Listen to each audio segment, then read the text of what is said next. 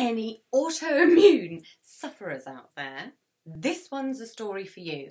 This is how I healed underactive thyroid. And the key piece that totally alchemized and changed the game for me.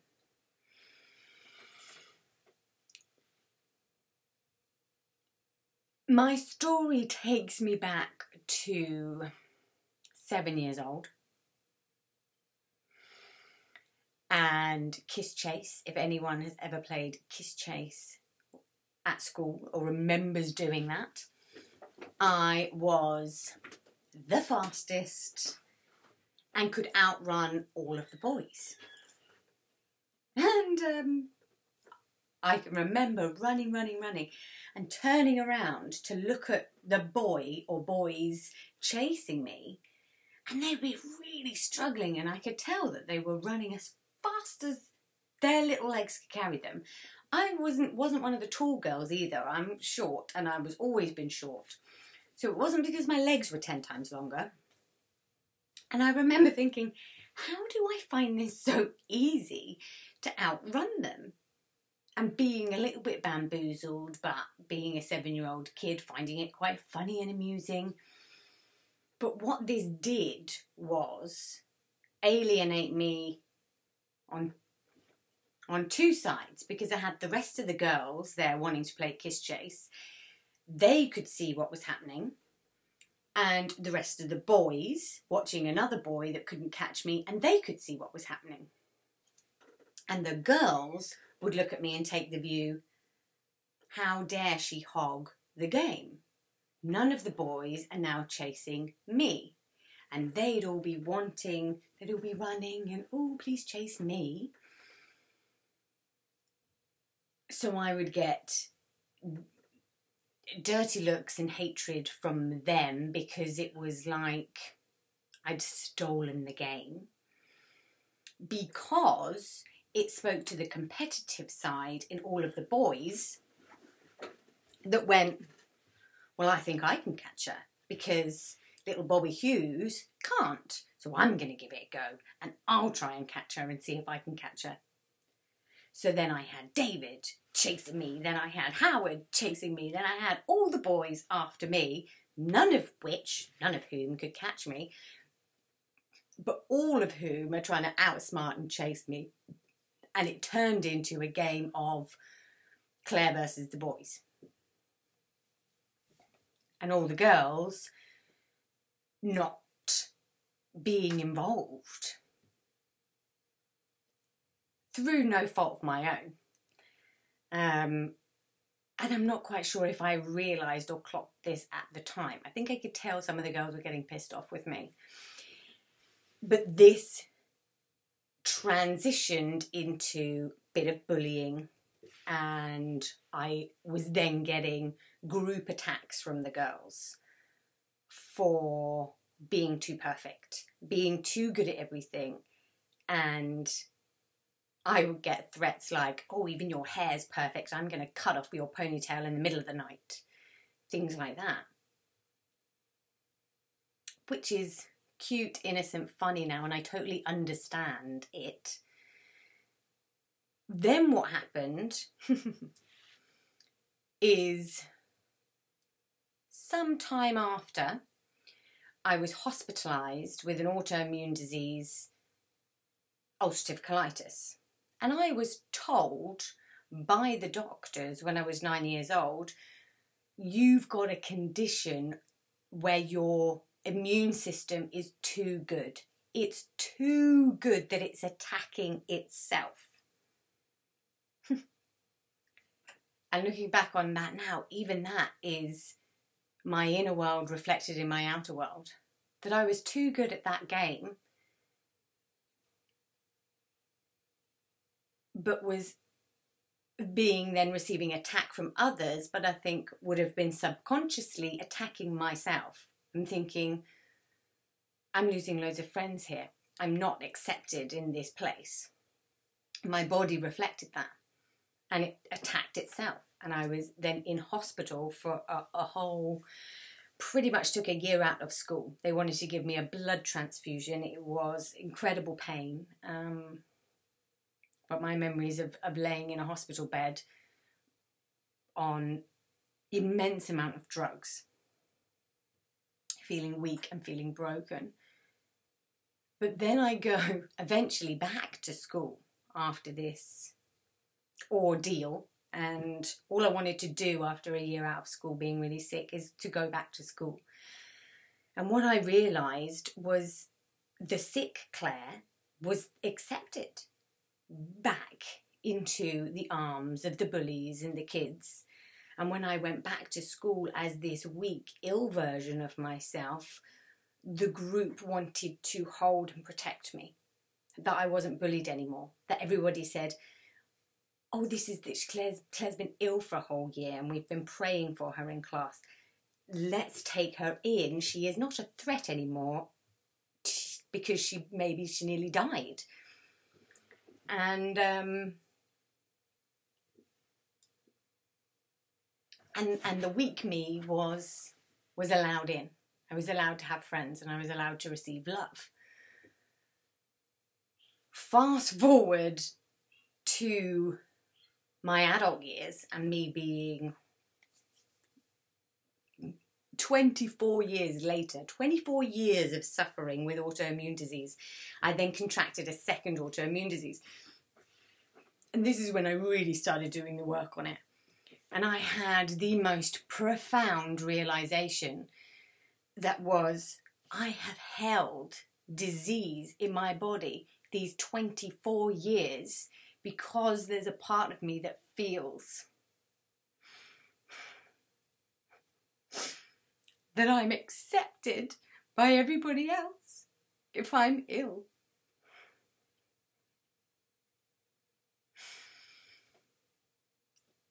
And that completely changed my life because I I then had a choice.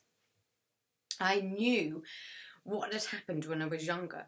I completely understood why I had subconsciously taken on that belief and thought to get on with everybody else, to be loved, I have to dull myself, dim my light. And I'm more accepted if I'm ill, weak, and not a threat to anyone else.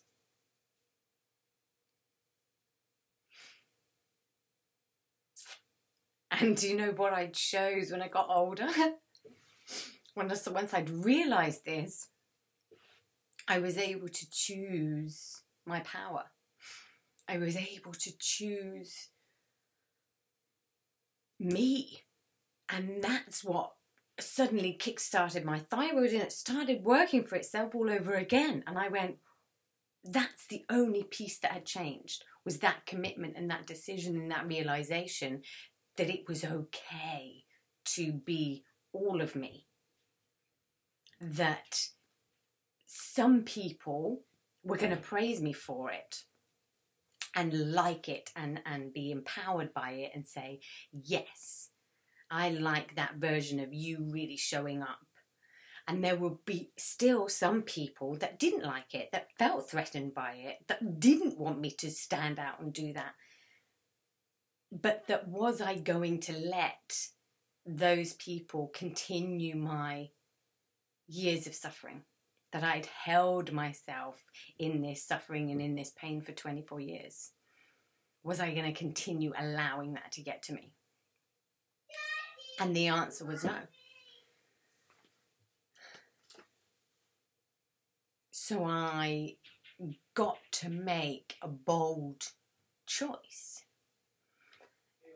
And it's also one of the reasons why it's really important for me to hold women's circles at the moment. Because a large part of that was about not ever fully trusting women, feeling like I would be bullied and um, bullied and shunned and bitched about and certainly in my teenage years, I didn't have really any girlfriends. I spent most of the time with a collection of, of boys, and I hung around with the boys a, a lot of the times. to the point where even you know you do graduation after school or whatever and i got um there was gossip about me because i wanted to wear a suit instead of a dress and be one of the boys and i was a tomboy then for for many years and throughout my 20s i skateboarded and i wore baggy trousers and i wanted to be a boy because i trusted the the men more so now it's really important for me to come together in women's circles, to come together with the sisters that will support me. And to find those powerful goddess women that look at me and say, Yes, Claire, I want you to be all of you. I want you to stand in your greatness and, and I am here to say yeah and more and give me more and give me all of you and stand in the fire with them and say, okay, I might not be getting it right, but this is all of me. You have all of me.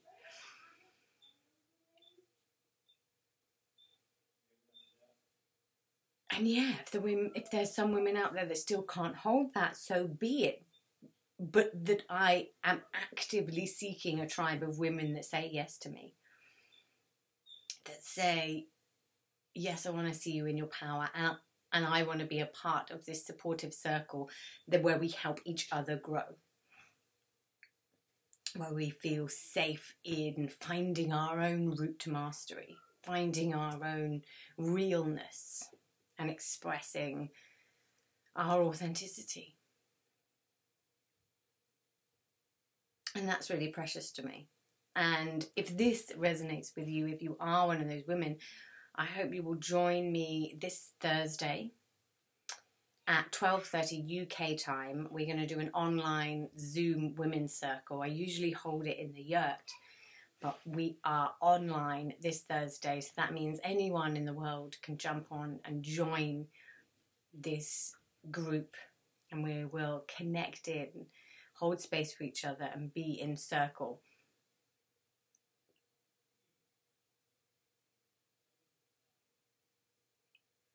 Because it's so important for for the female energies to write a new song, to write a new song of togetherness and bonding,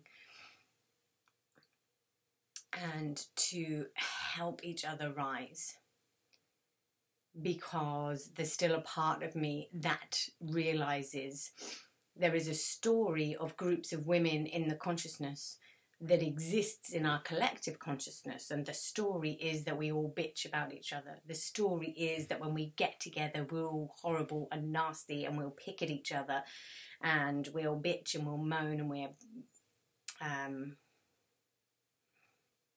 yeah that we're nasty And I think most women certainly have had experiences of that from school. Everyone will have had their own version of this in whatever context. So, if you would like to reconnect with your sisters and heal from any experiences or any stories that you're running that are keeping you in your victim, and keeping you from your power, then please do join us on Thursday on our Zoom or jump in my Facebook group. There will be links, and I'll probably go on Facebook Live as well as in the Zoom on Thursday. So if anyone's in my Facebook group, they can catch it in there as well. oh, my love. Hope you chat.